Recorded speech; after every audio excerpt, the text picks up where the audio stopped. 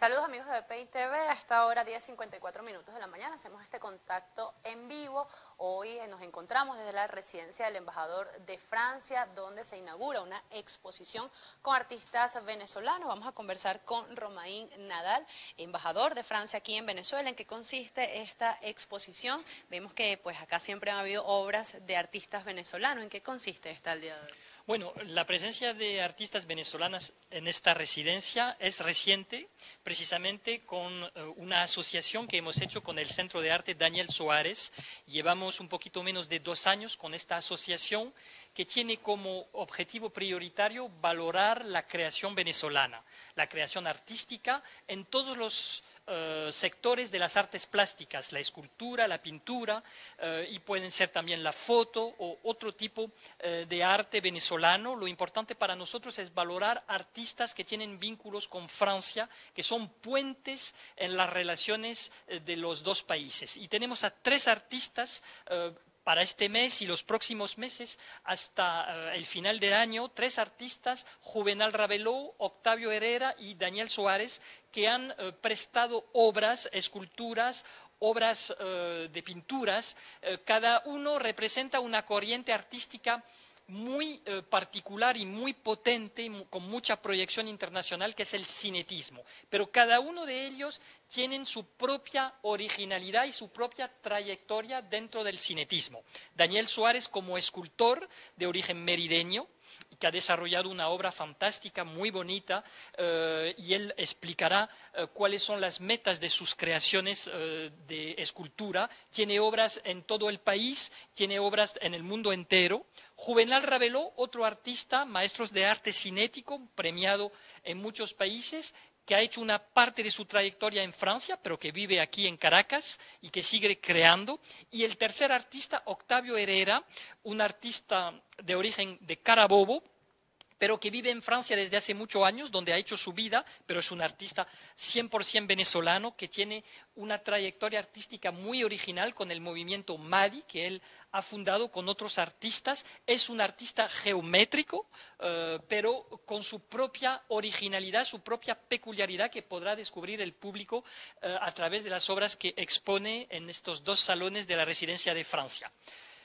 Sabemos que Venezuela atraviesa un momento difícil de crisis, pero esto nos incentiva a seguir con nuestra programación cultural, valorando eh, la creatividad venezolana y valorando eh, la positividad de la sociedad venezolana, su, afán de apertura al mundo y su eh, increíble personalidad reconocida en el mundo entero. Ahora, esta exposición, eh, ¿cómo va a estar abierta? ¿De qué hora a qué hora? ¿Es, gratuita? ¿Cómo, para explicarle al público? La abriremos al público en el mes de junio durante la Semana de Francia. Podemos organizar visitas con grupos eh, que pueden contactar a la Embajada de Francia a través de la web y podremos organizar visitas eh, de, grupos de personas aficionadas al arte venezolana, pero durante todo el mes de junio tendremos nuestra Semana eh, de Francia, que va a durar varios días, se llama semana, pero en realidad dura más, con cine, eh, con conciertos, eh, con exposiciones de foto. haremos algo con la Universidad Católica Andrés Bello a través de exposiciones. O sea, vamos a tener toda una serie de eventos que propondremos al público venezolano y durante eh, esta Semana de Francia, en el mes de junio, abriremos la puerta de la Embajada y de la Residencia de Francia para permitir visitas y conciertos para descubrir lo mejor del arte y de la cultura venezolana. ¿Cuántas obras, embajador, vamos a poder apreciar en esta exposición? En esta exposición hay algo como 40 obras, esculturas y también eh, obras eh, de pintura. Eh, usted hablaba pues de fortalecer estos lazos entre Francia y Venezuela, sobre todo en esta situación de crisis que usted hablaba. ¿Tienen pensado nuevos apoyos para nuevos artistas desde la Embajada de Francia? Sí, quiero subrayar que no somos indiferentes, por supuesto, a la crisis, pero pensamos que la crisis no debe de eh, interrumpir eh, la cooperación bilateral entre Francia y Venezuela de sociedad a sociedad Por eso hemos escogido artistas que no dejan de viajar, que no dejan de incentivar los lazos entre Francia y Venezuela, como lo son Daniel Suárez, Juvenal Rabeló y Octavio Herrera. Y a través de ellos queremos mostrar lo mejor de Venezuela y queremos transmitir un mensaje positivo mostrando que a pesar de la crisis, Venezuela sigue un país atractivo con mucho impacto internacional en el sector del arte, pero también en el sector de las ideas, en el sector económico. A pesar de la crisis, Venezuela sigue teniendo un lugar en las relaciones internacionales y en particular entre Francia y Venezuela entonces político, ya no cultural, ¿qué estaría dispuesto a hacer Francia para presionar para que se dé ese cambio en Venezuela? Se dan sanciones desde muchos países, tal vez desde Francia se pudiese pensar. Francia aboga para una solución pacífica y negociada a la crisis a través de la iniciativa de la Unión Europea y de Uruguay del Grupo de Contacto Internacional, que desde el mes de febrero ha trabajado mucho con grupos de trabajo y con viajes técnicos aquí a Caracas para encontrar eh, soluciones a dos prioridades, eh, la ayuda humanitaria y elecciones eh, presidenciales libres, democráticas y transparentes.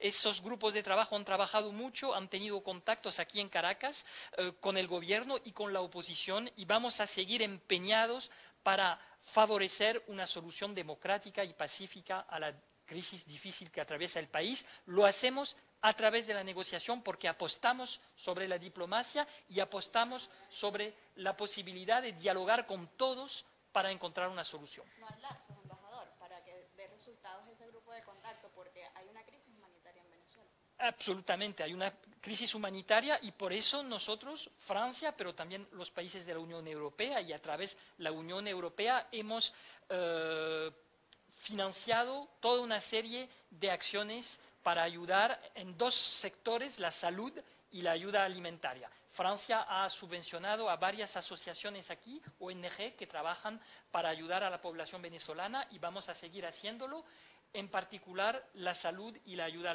alimentaria, que son dos sectores particularmente golpeados desde hace varios años en el país y que queremos incentivar y apoyar. En la última reunión o el último encuentro que ustedes tuvieron en la Asamblea Nacional con el presidente Guaidó, se anunciaba una ayuda económica por parte de Francia. ¿Ha habido nueva ayuda, aparte de la que usted está indicando? Ayuda humanitaria, sí, estamos eh, trabajando con algunas ONGs que nos han hecho peticiones precisas para proyectos concretos, eh, no solamente en Caracas, eh, para otras ciudades del país, y estamos mirando sus peticiones y eh, con la administración gubernamental parisina en París estamos mirando la posibilidad de dar más subvenciones. También quisiera preguntarle cuál es la postura de Francia o cómo mira Francia el hecho de la presencia rusa acá en Venezuela.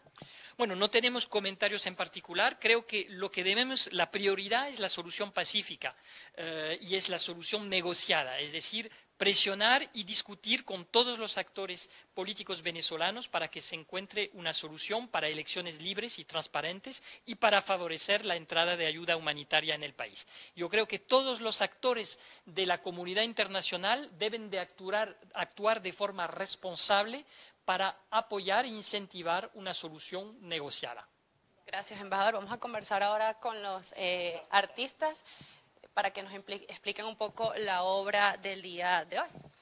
Sí, eh, gracias. Bueno, esta exposición extraordinaria en la casa del embajador de Francia no hace otra cosa que reafirmar el carácter universal de la, de la abstracción geométrica que se inició en Europa en, por cierto, en una época de una gran crisis, fueron artistas que trabajaron un momento muy duro, al inicio de una guerra, revoluciones, luego otra guerra, y fueron generando pues una tendencia en el arte que todavía tiene una fuerza enorme y que eh, la abstracción geométrica y el cinetismo son una tendencia en el arte de encuentro, donde siempre la plástica no ha hecho otra cosa que relacionar al ser humano con su ambiente, al ser humano con la forma, al ser humano con lo cromático.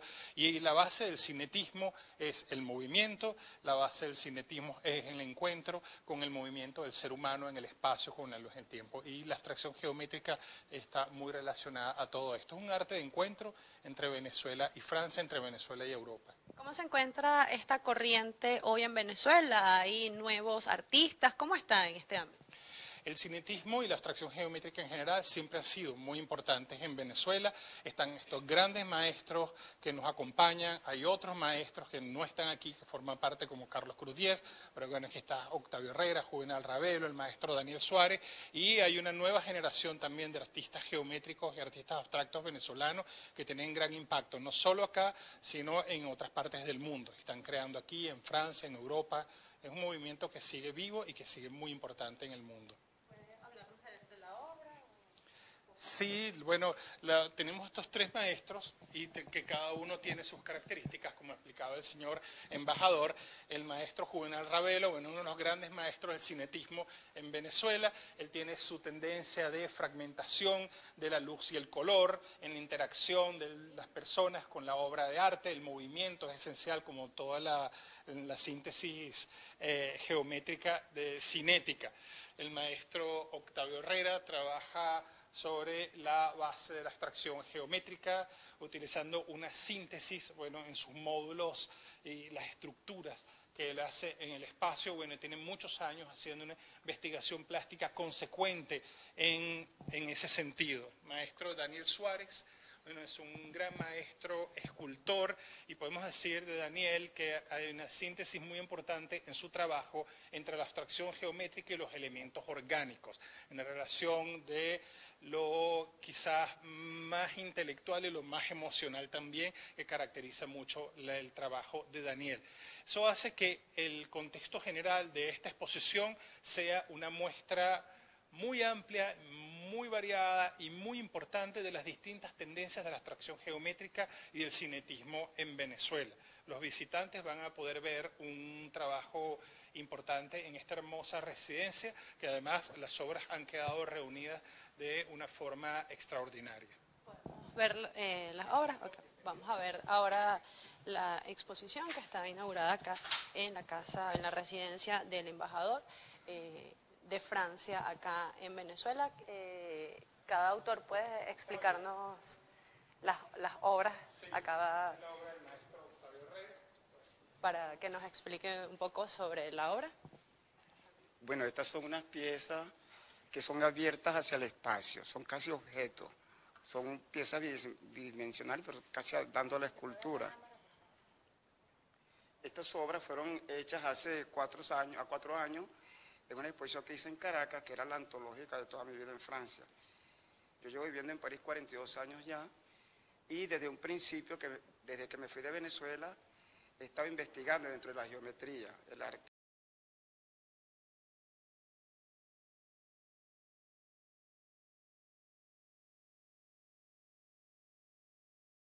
Puro.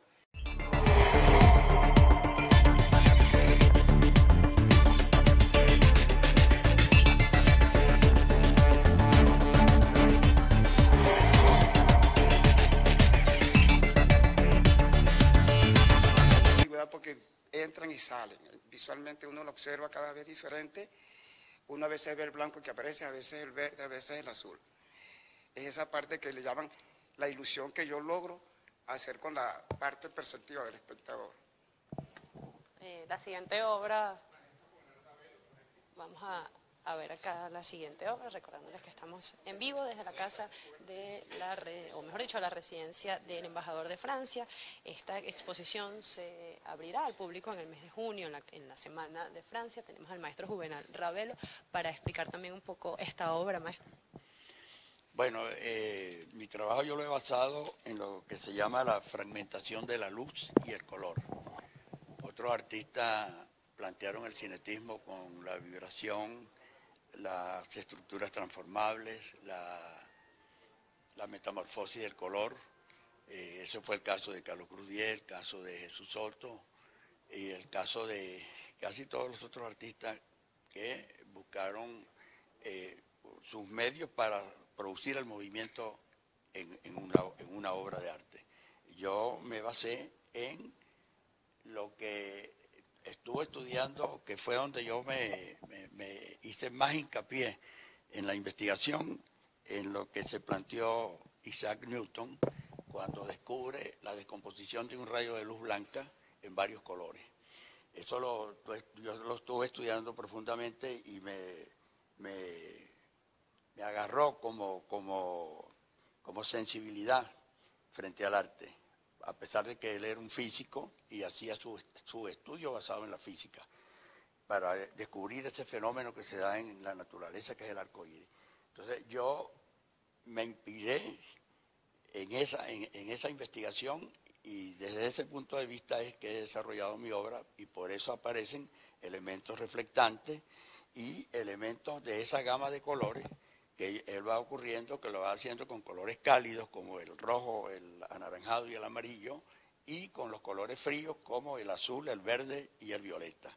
Hasta ahora ha sido mi planteamiento, al lado de otro que hice, eh, abrí una brecha allí haciendo el arte de participación en la calle. ¿Por qué? Porque quise compartir eh, mi trabajo y reflejar al, cinetismo, reflejarlo hacia otra sociedad que es la sociedad desposeída.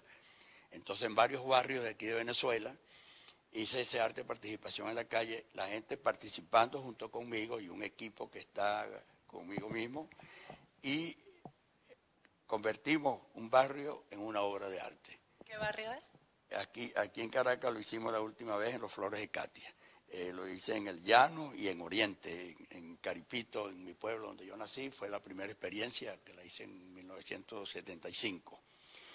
Y bueno, eso, eh, los resultados vinieron, porque gente como el escritor Arturo Ular Pietri le dedicó, me acuerdo, en, el Nacional de 1978, un comentario muy lindo.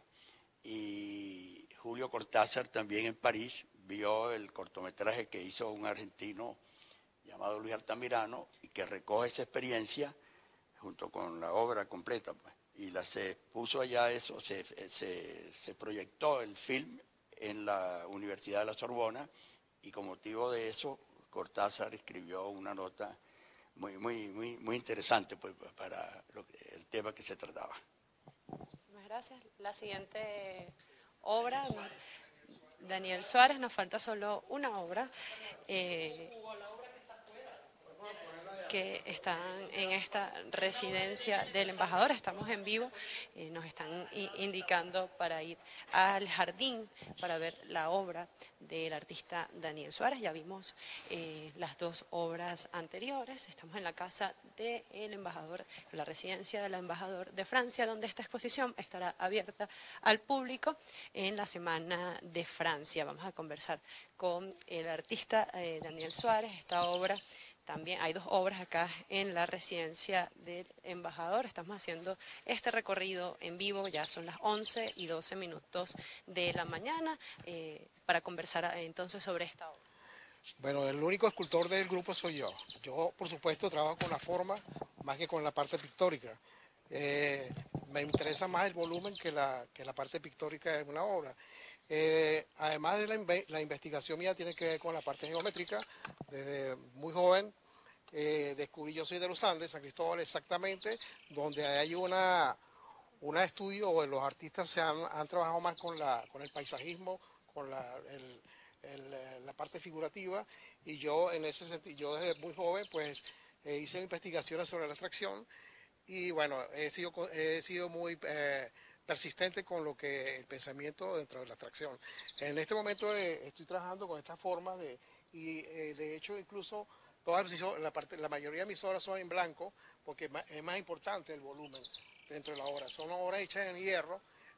Este material, algunas obras yo las, las trabajo también en madera y en bronce, pero particularmente la muestra que tengo acá es en hierro. Son trabajos que son un esfuerzo, eh, sobre todo en la parte industrial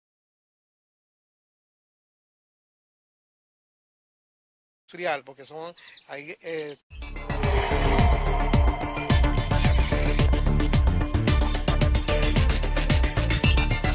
un espacio como artista plástico también hay un equipo de, artesanos y jóvenes con el cual yo colaboro con ellos para, para que ellos se, sean unos buenos profesionales dentro de la, dentro de la herrería. ¿Cuánto tiempo duró la elaboración de esta obra? Esta tiene, yo duré como mes y medio la elaboración de esta. Esta es una obra que se llama Un Boomerang por la Paz.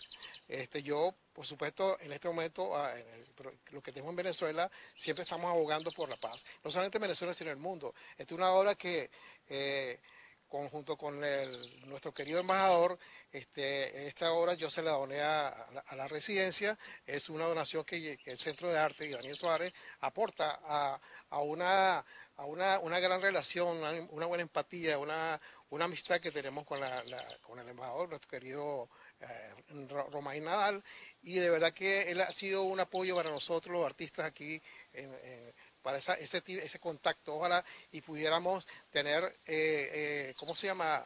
No solamente que nosotros los venezolanos podamos exponer, sino también que algunos de, los artistas franceses vienen a exponer aquí en Venezuela, porque esa parte de integración de, los artistas es importante para nosotros. ¿Dónde podemos apreciar su obra?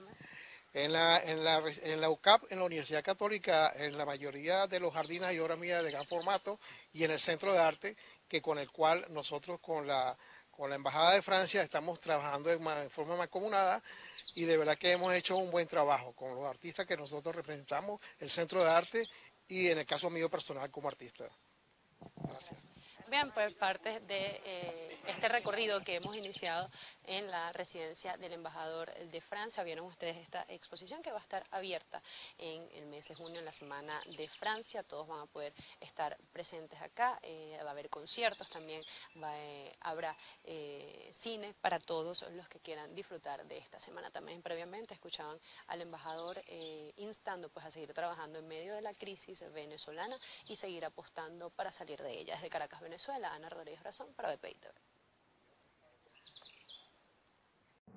Esta transmisión es presentada por Rapidez y seguridad son elementos claves cuando buscas mostrar solidaridad a tus seres queridos. En TGL Envíos somos tu solución y tus mejores aliados cuando de regalar sonrisas se trata. En TGL Envíos, tú lo eliges. Nosotros hacemos el resto. Salvador Peluquería. Visítanos en Maracaibo, Ciudad Ojeda, Acarigua, Santa Bárbara del Zulia, Paraguaná, Panamá, República Dominicana, Miami, Curazao y próximamente en Italia. Only for Men. Centro San Ignacio, nivel Blandín, Caracas. Te lo llevo desde usa.com. Estamos ubicados en 8386 Northwest de la calle 68 del Doral, Miami.